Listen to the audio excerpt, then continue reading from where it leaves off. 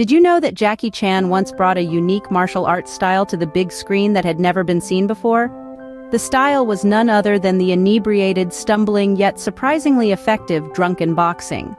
This all happened in the 1978 film Drunken Master, a cornerstone of martial arts cinema that catapulted Chan to international stardom.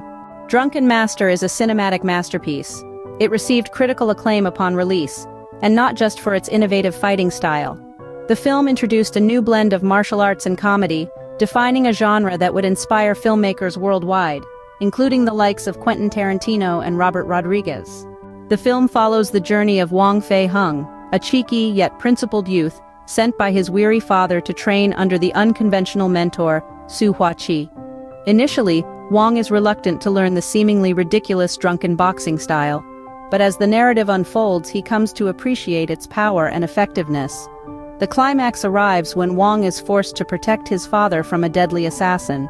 He must rely on his newfound skills to save the day and uphold his principles. Drunken Master is not just about the plot, its technical brilliance shines through, especially in the action choreography. The film merges humor and combat, displaying Jackie Chan's acrobatic talents and comedic timing. Under Yuen Woo-ping's expert direction, the film pulsates with dynamic visuals and vibrant energy. But the legacy of Drunken Master is not confined to its release year. The film has been remade several times, entertaining audiences across generations. Its enduring popularity is rooted in its timeless themes of self-discovery, overcoming adversity, and finding humor in the most unconventional situations. So, to appreciate Drunken Master, we must look beyond the facts. The film's critical acclaim, historical significance, and influence on future filmmakers are just as important.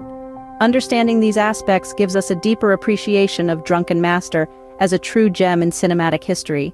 To sum it up, Drunken Master is a film that changed the way martial arts was portrayed on screen, introducing a unique blend of combat and comedy.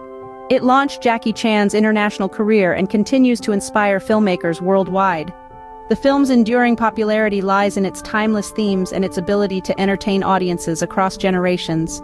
A classic in every sense of the word, Drunken Master, is a testament to the power of innovative filmmaking and the enduring appeal of a good story well told.